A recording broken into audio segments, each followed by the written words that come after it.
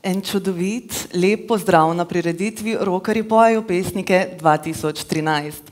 Rokari pojejo pesnike je dolgoleten projekt, ki živi in deluje že dolgih 15 let in z nami ostaja še danes. Projekt povezuje tako pesnike in rokerje glasbenike, pravzaprav glasbenike vseh zvrsti, tako rock, pop, etno, druge ter literate, pesnike in pa pisce. Povezuje tudi urednike, bralce in vse ostale iz ozadja projekta.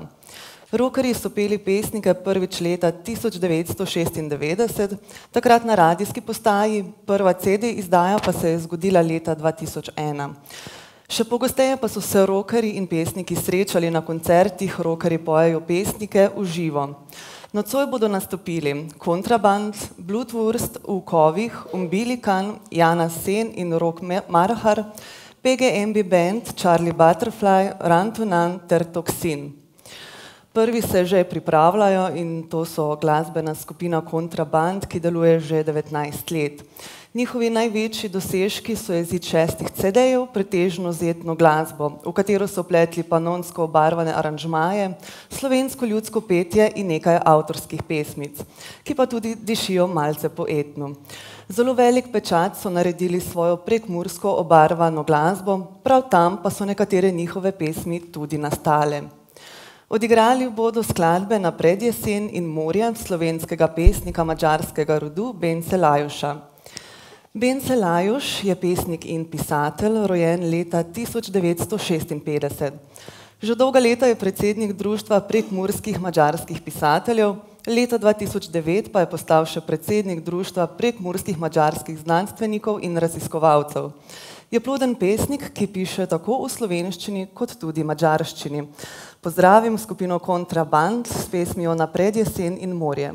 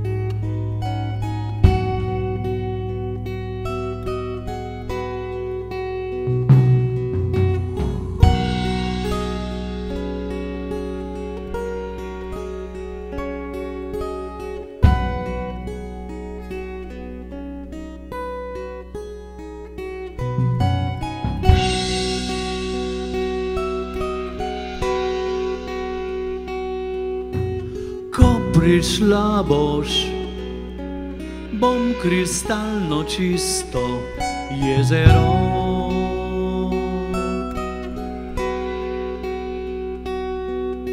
Oči lahko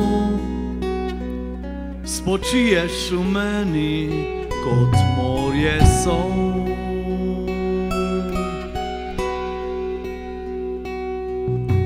Še las je mi bodo takšni, kakor let.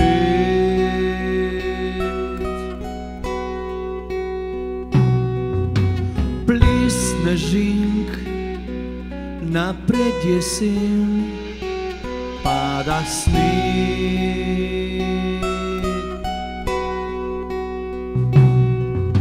Premočena do kože, boš spet. Dolgo bom za tabo, zrl v ogledalo, brez besed.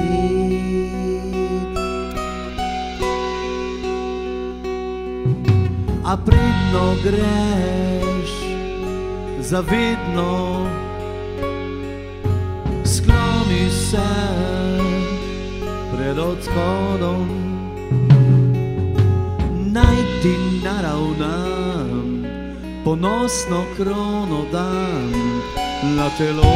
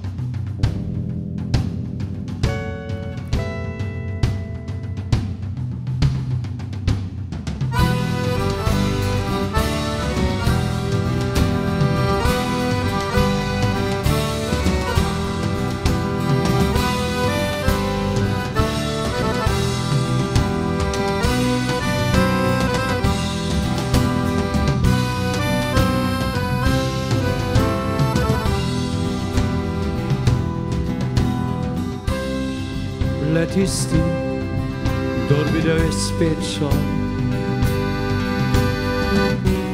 Žensko razgaljenih prsi. Čuti, kako nežno je morje. In divje pod srečnimi prsti. Ljubezen trka najina Vodna lilija Nektar radijske lika Tvoje lepote kači Pastiri Kdo gre z mano ljubici Poljuba dva za me skriva. Kdo mi vzame poljube tri? Sovražno se upira. Ljubezen krka najina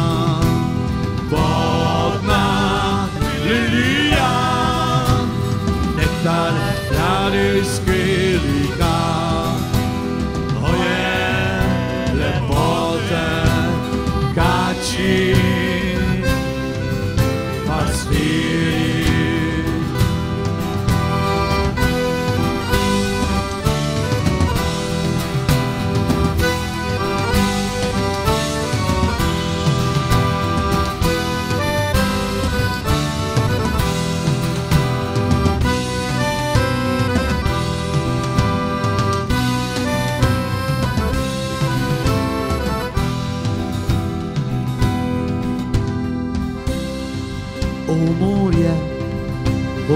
pokaži ti stavro, ko pesem bo prikrumela.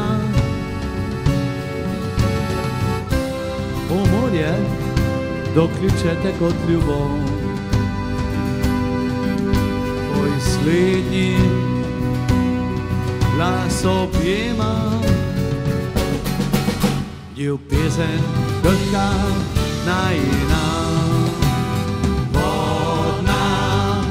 lilija Nektar radijski lika Tvoje lepote kači,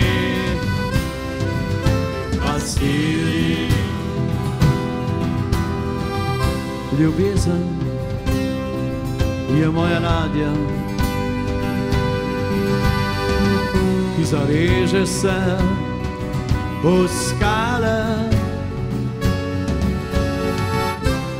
Sanska katedrala Chyłta plasę Sama basę Ju pieseň krtka najiná Vodná lilia Entar na ryský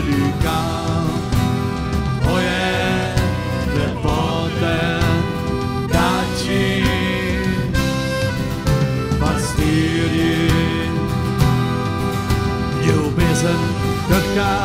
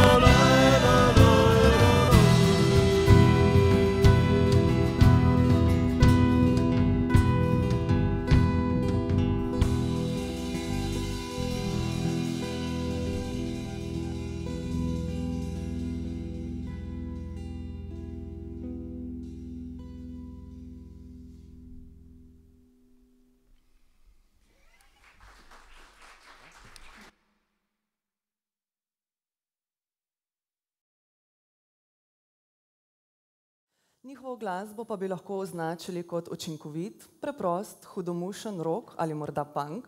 Dajte jih sami vprašati in izvedeli boste vse o pečenem jagenčku s česnom, intelektualce bo bolela glava, vse ostale jutro kasneje. Odigrali bodo odpustke Jožeka Štucina, rojenega leta 1955, je pesnik, literarni kritik in publicist iz Tolmina. Že več let vodi slovenski osnovnošolski hajku na tečaj in izdaja zbornike najboljših hajku pesmi mladih ustvarjalcev. Izdal je več kot deset pesniških zbirk, objavlja pa tudi pod psevdonimom Regina Kralj. Ter pesem Zapovedani praznik Tonija Pivosrka. Toni Pivosrk je psevdonim priznanega in uspešnega slovenskega pesnika, mladinskega pisatelja in urednika, katerega ustvarjalna žilica prekaša eno samo osebnost. Blutwurst. Dobar večer. Mi smo skupina Bloodworst, zaigrali bomo dve pesmi, Odpustke in pa Zapovedani praznik. Imam čast na basu pozdraviti našega prijatelja Nikolo in na bobnih Alena.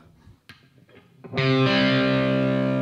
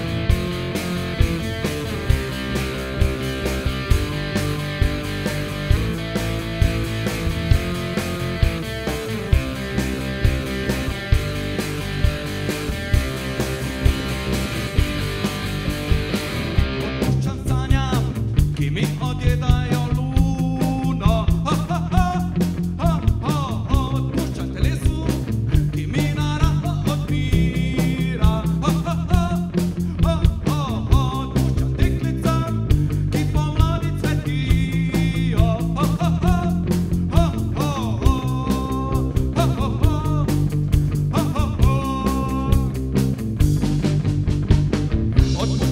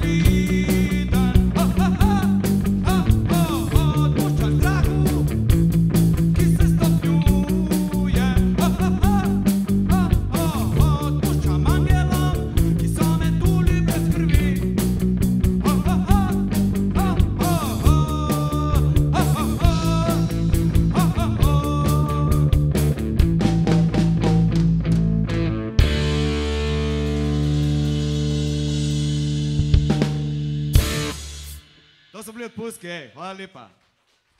Hvala lepa.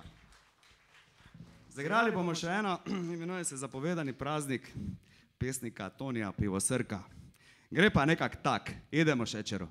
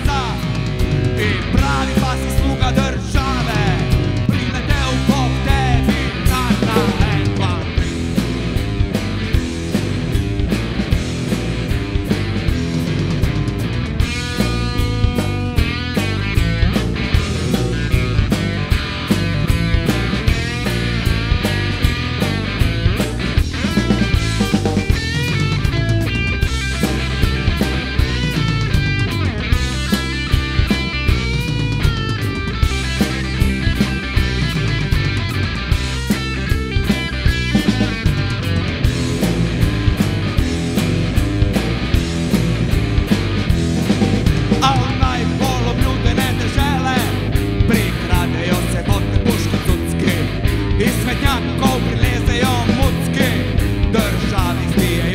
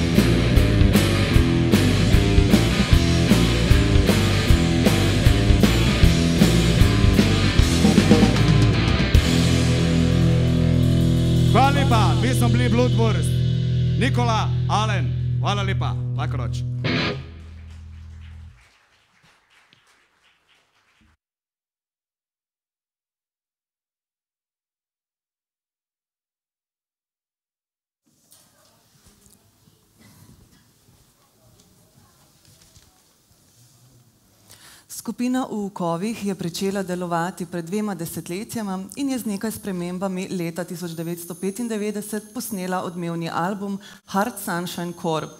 Po več kot desetletju premora in razširjanju družinskega debla z nekaterimi drugimi zasedbami se skupina v Ukovih leta 2009-10 ponovno formira v sedanji zasedbi.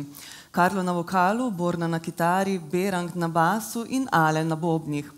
Odigrali bodo dve skladbici Novica No- Novakoviča Iza okopov in Brezglavi jezdeci. Novica Novakovič se je rodil leta 1965 v Ljubljani, kjer živi in ustvarja. Kot pesnik je nas opozoril leta 1990, ko je prejel eminentno nagrado Goran za mlade pesnike. Od takrat je izdal več kot deset samostojnih knjig redno objavlja v literarnih revijah, zastopanje v nekaterih domačih in tujih antologijah in zbornikih. Skupina v kovih.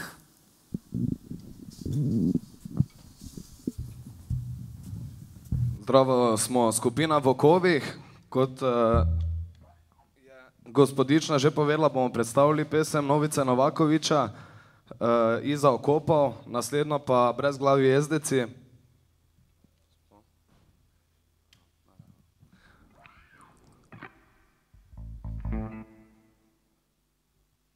Mm-hmm.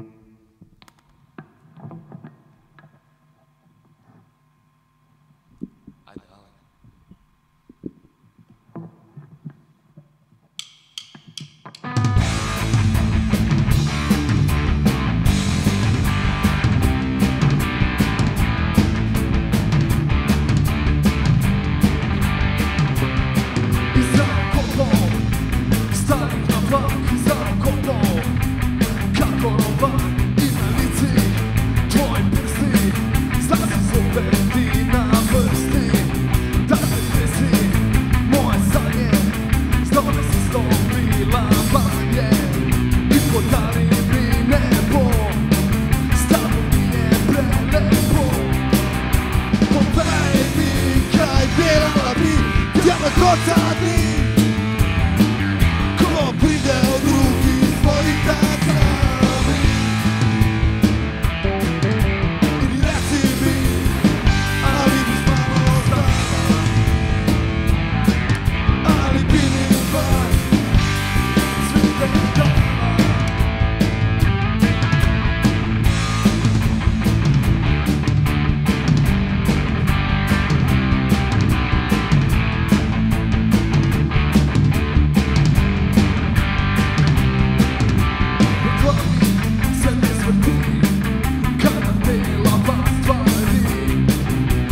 feel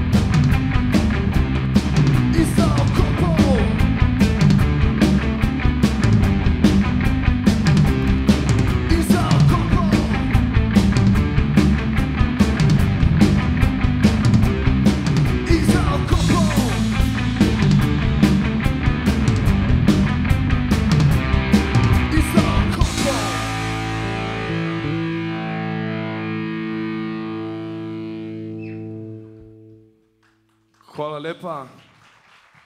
Naslednja pesem, brez glavi jezdeci, prav tako od avtorja Novice Novakovič.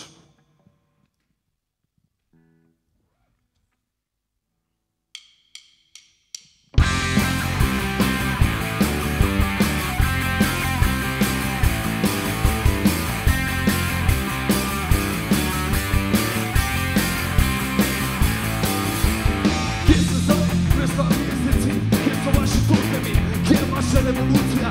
Svojo ideologijo blagajne popolništva Se zamenjali za odobje in razdelje. Svojo svobodo za obveznost in odgovornosti. Polno mahovanje in cicanja Za vse užitke brezmejnega fuka. Prodali za masturbacijo. Pobral svoje stvari in izginil. Brez besed, brez poslavanja Enostavno se bom vrnil in še.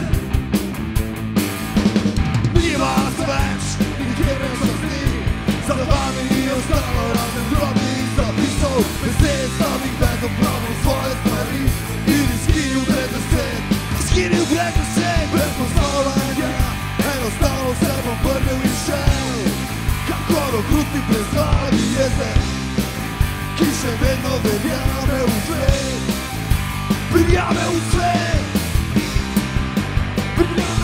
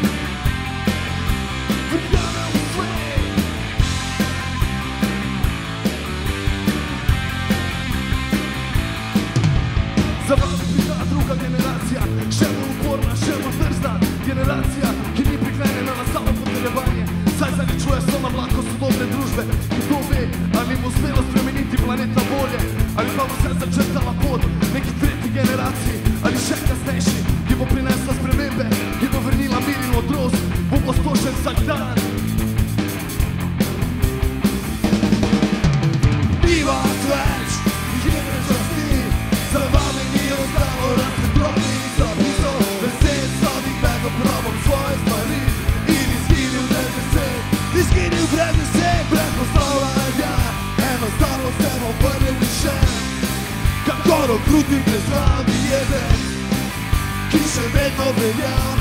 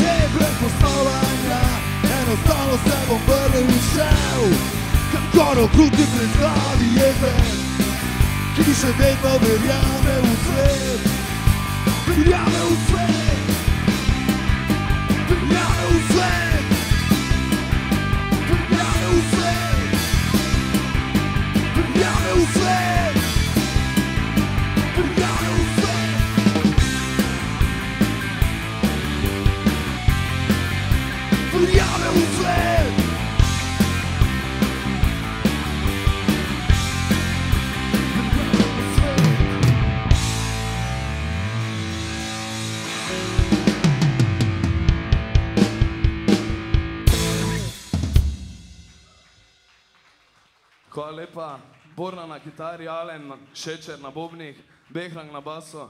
Hvala, da ste nas poslušali, hvala, da ste nas povabili. Adijo.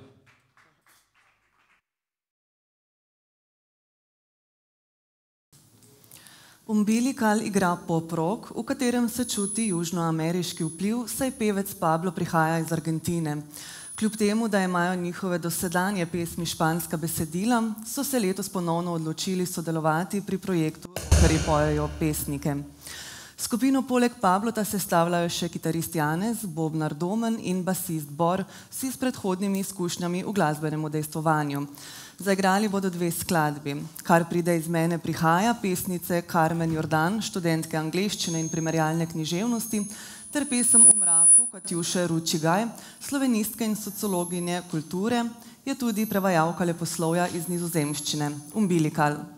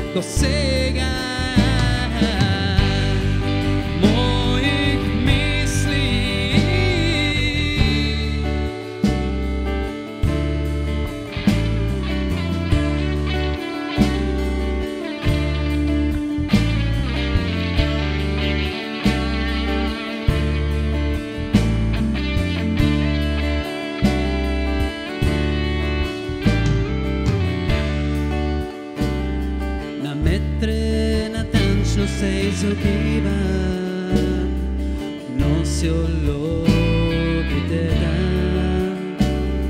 Let it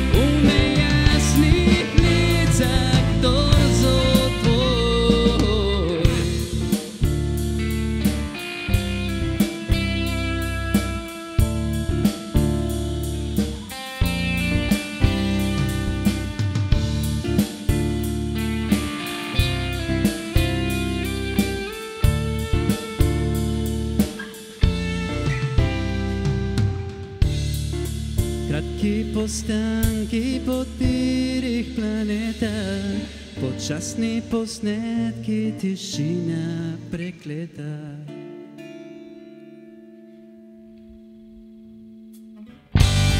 Lovim signale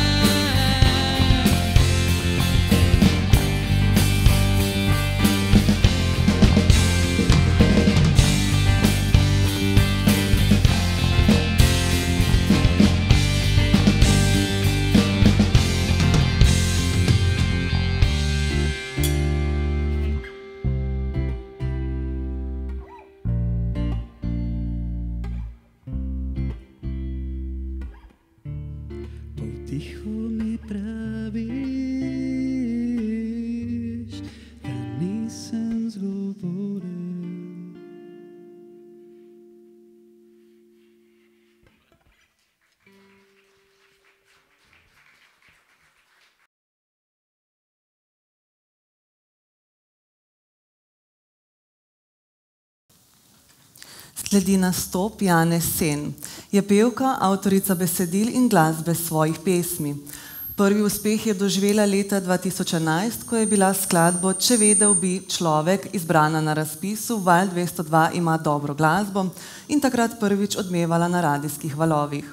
Njen albumski prvemec Le lepe pesmi je išel prejšnje leto. Pri projektu Rokari pojejo pesnike tokrat sodeluje s kitaristom Rokom Merharjem. Uglasbila sta pesem Med travami Davida Šušelj. David Šušelj je bil rojen leta 1968 v Kopru, živi v Kočevju in se ukvarja s pisanjem.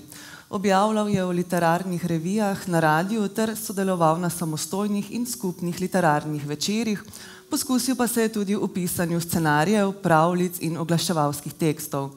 Spodbudil je nastanek kluba literatov Kočevske, ki ga je aktivno vodil in v njem deloval kot urednik, mentor in organizator.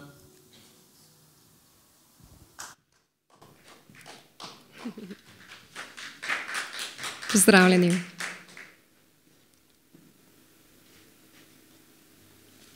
Malo, da se sprostimo. Ne?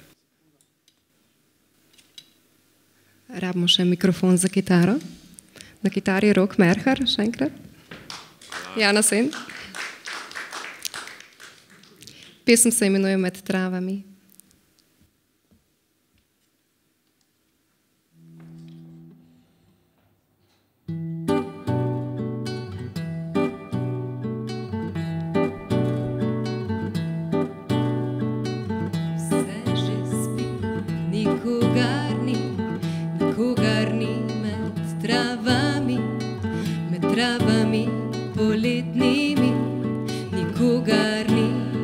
Ki videl bi, da vzvalovi in oživi, ko veter gre med travami, po ulicah med hišami pa von postava od skrbi, če žalosti skrbi duši, te med zidovi mestnimi.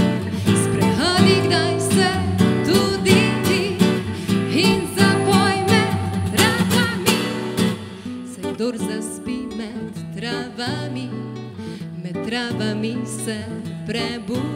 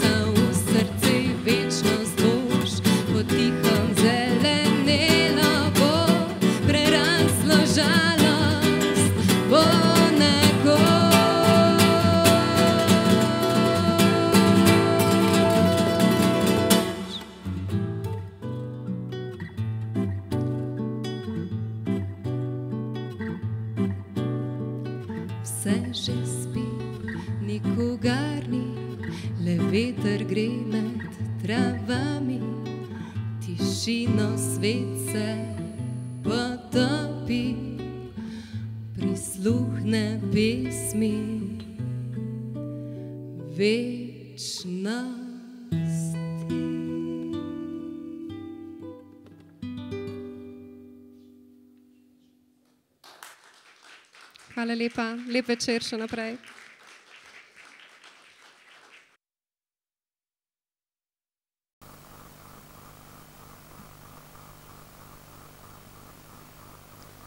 Jana Sen in Rok Merhar sta bila tole, sledi pa skupina PGMD Band, ki je glasbena skupina nastala na prvi gimnaziji Maribor in gre za enkratni glasbeni projekt. Skupino je uglasbila pesem Meje mariborskega pesnika Bojana Sedmaka. Na prireditvi v živo bosta skupino zastopala kitarist Zmago Švajcer in vokalistka Lana Potočnik. Bojan Sedmak, avtor pesmi Meje, pa je med drugim tudi kantavtor in tekstopisec. Najbolj aktiven je bil v 80. in 90. letih. Je prepoznavna figura mariborskega kulturnega dogajanja, v katerega tudi sam vedno več posega z lastno dejavnostjo. PGMB.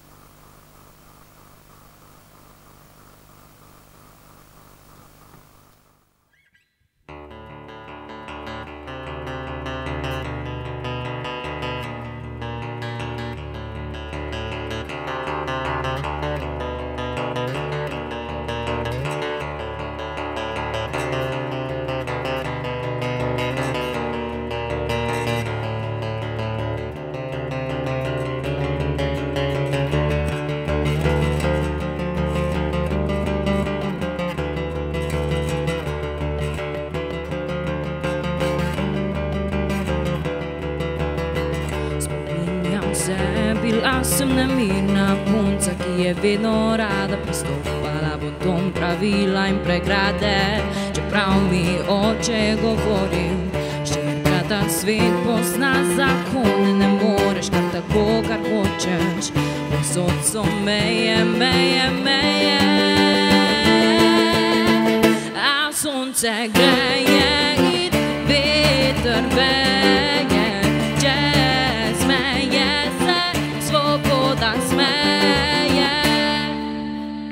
šolah so bile zabave,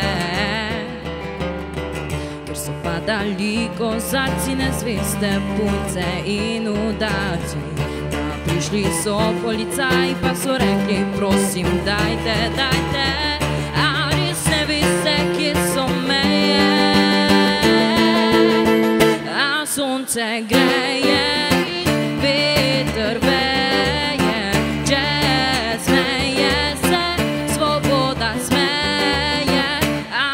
Sonce greje in veter veje, čez meje se svoboda smeje. Hodim, gledam in poslušam po tujih in domačih krajih, povsod so kakšne zapornice. Prepovedi, obveznost merižice, signal polja, diskretnost povsod so meje.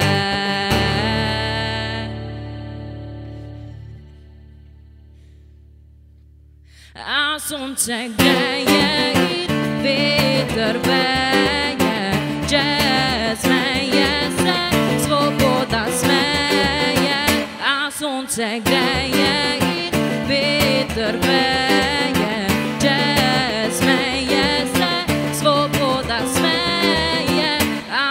A sonce greje in veter veje, čez meje se svoboda smeje, a sonce greje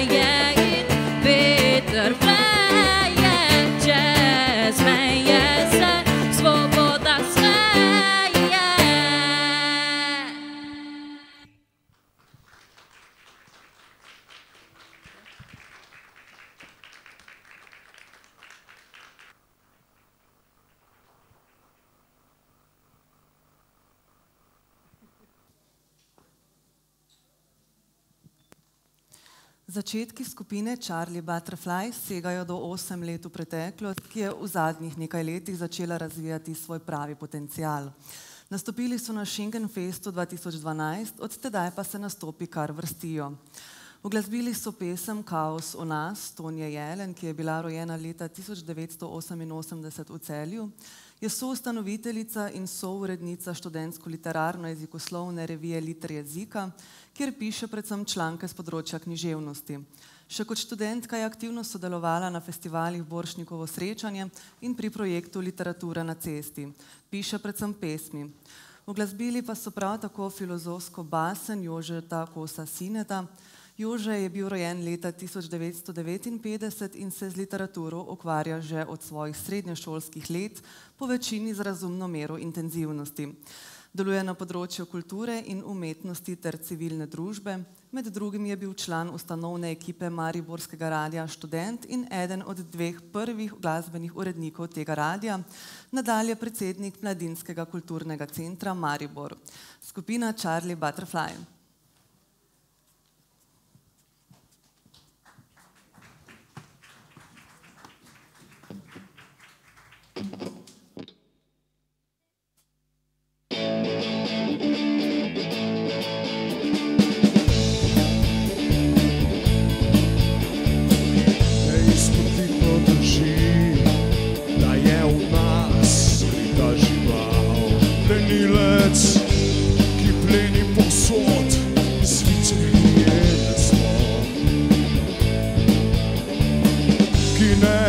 Prizanesemo nikomu. Stojimo na pečini in dihavamo ideje lažnih bogov ki nam nenehno spujajo hrepenenje.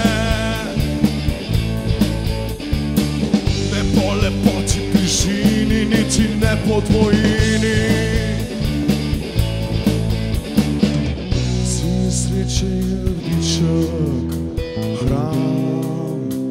Izpolnjene sreče, pa sprehod v gost. Napolnjenih, napolnjenih, napolnjenih, napolnjenih, svir sreče je dobiček, hram, izpolnjene sreče, pa sprehod v gost. Napolnjenih, napolnjenih, napolnjenih, napolnjenih etaž.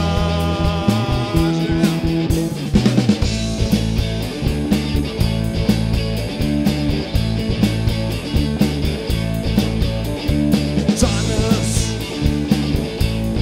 danes je nedelja.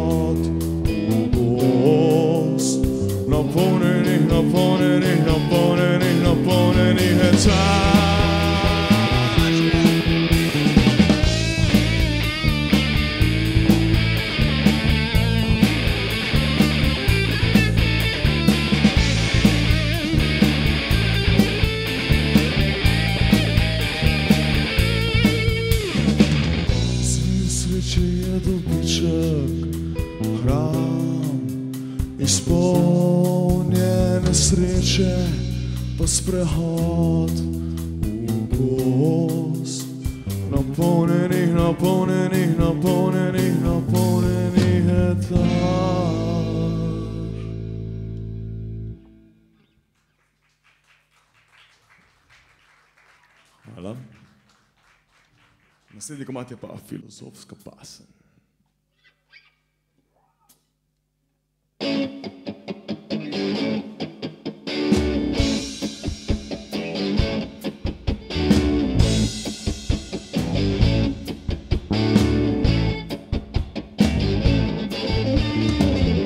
Očki sanjajo se s tobo, očki sanjajo mehkobo, ta primice in sedi.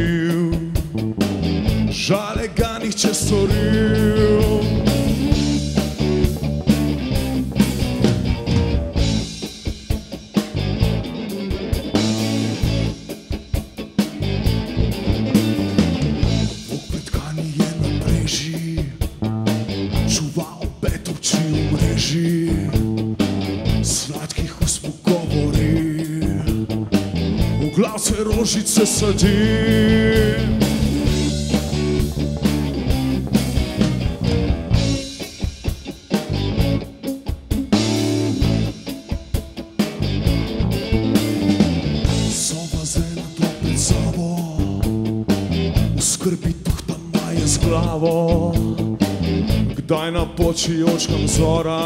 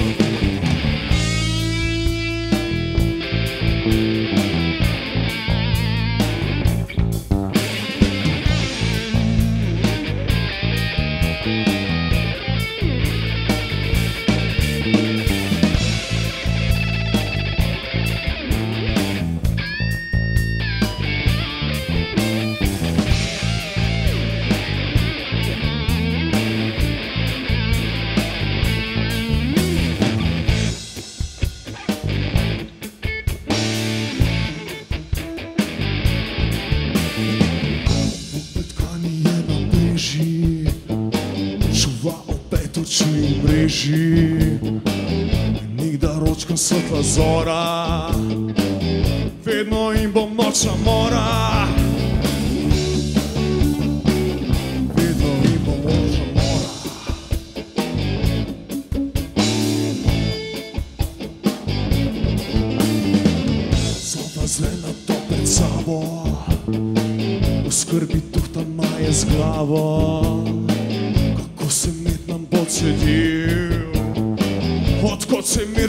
absolu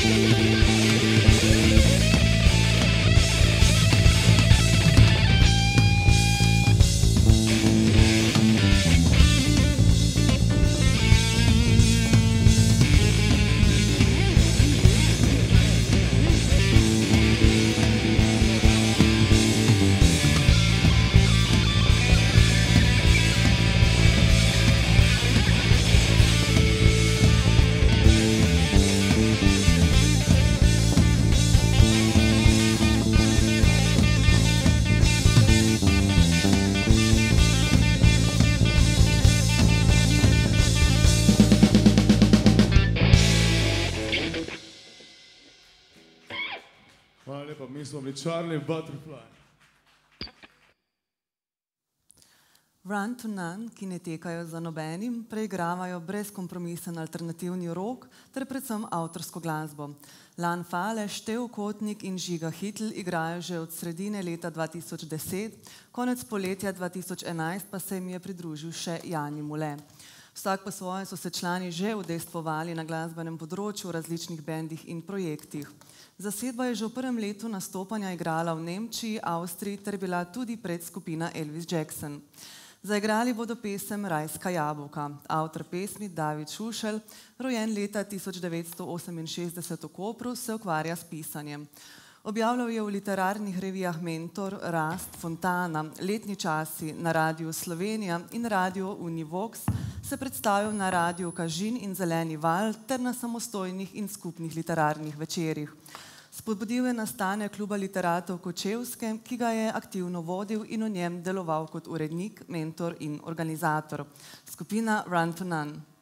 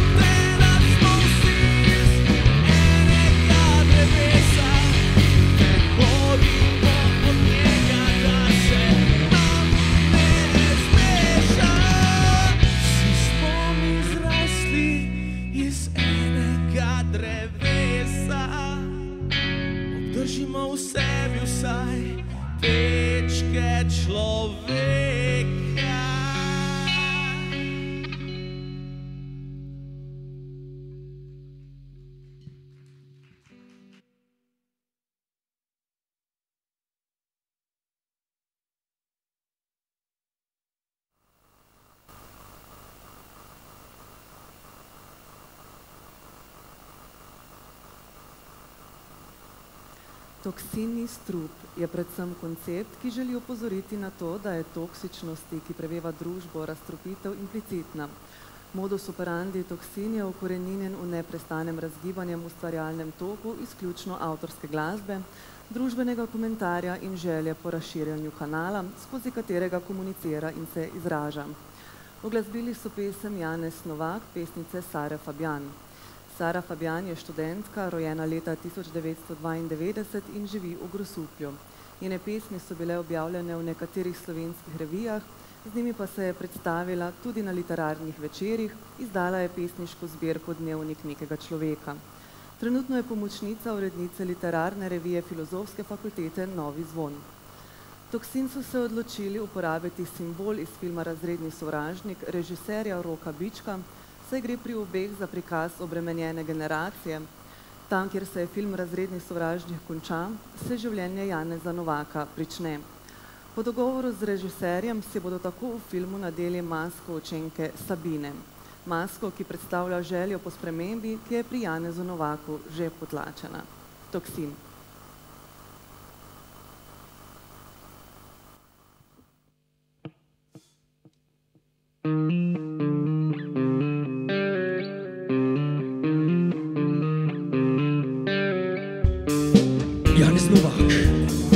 Med tedna spremenili smo normativ. To je zdaj pripadnik bele rase, ki je zaposlen v storitvenih dejavnostih. Vsak dan pojem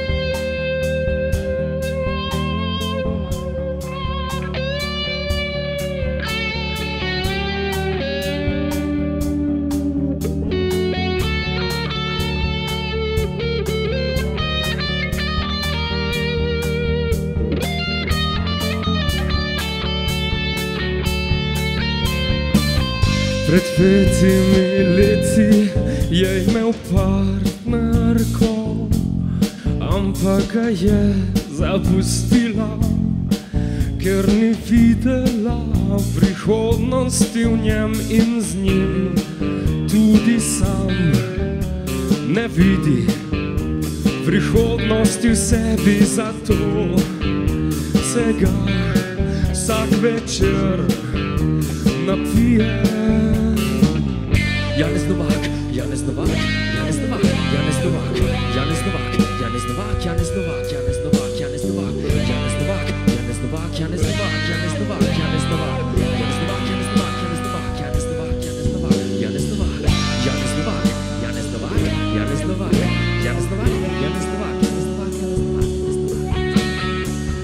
Profesor Gison mu govorili da vive sublíssimo. Espera.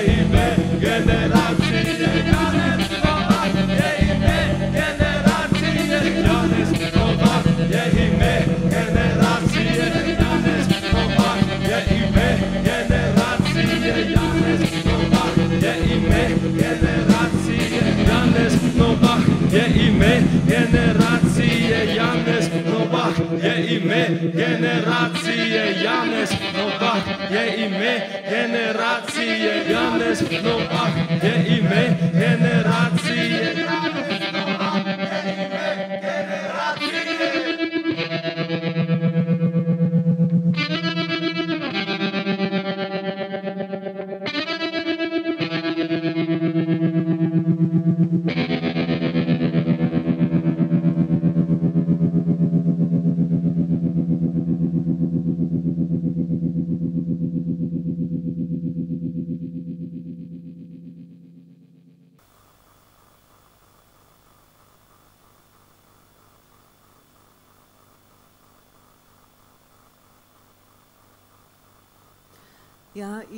nekako takole smo s skupino Toksin zaključili današnjo prireditev Rokerji pojejo pesnike 2013. Prireditev sem povezovala z Alo Kos, velika zahvala pa gre predvsem rokerjem in pesnikom ter celotni ekipi subkulturnega azila, ki je pravzaprav nekako kriva, da rokerji še vedno pojejo pesnike. Še enkrat hvala vsem in hvala za vašo pozornost ter nasvidenje.